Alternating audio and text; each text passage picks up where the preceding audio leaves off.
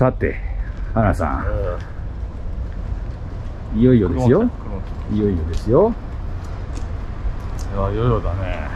ようやく来てもらいますそようね。あのー、なんと小野ちんより前にそう。あの桜井さんがね来てくれるということで。ついにですいやよ羽田のバーでちょっと盛り上がる回になるといいと思います、また緊張してますか？いやそんなことないよ。もうまあ早めに準備しちゃおうかなってわかりまし感じだけど、ねん？おおい。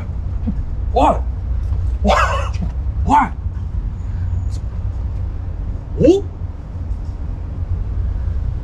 えこれはマジか？いやいやいやちょっと待って待って。あれ？閉まっとるやん。完全に閉まってるでこれ。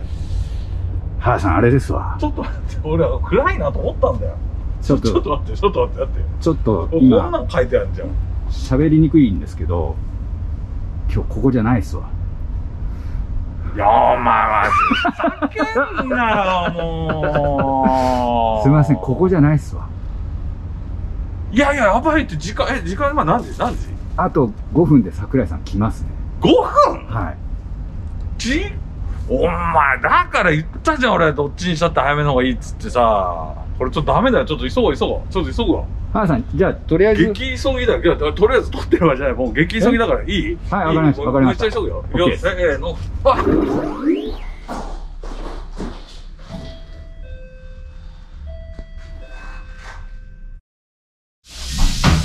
おいおいおいませんすいませんすいませんあれ俺ここじゃねえよお前なんだよここここどういうことえサワサワサワいいいいんですいいんですここじゃないみたいなんでだ触るんじゃねえかどこ原さんここじゃないですここじゃない多分もう全然場場所違う場所がこっちだよこっちどこですくりだよお前もう来てるかもしれないですよいや5分5分前だったんでしょ本当ですか大丈夫大丈夫大丈夫いやっていうかマジでシャワーかかったんだけどかかりましたびっしゃびしゃでシャワーさか本当にシャワーのれんがありましてほらもう。来てます？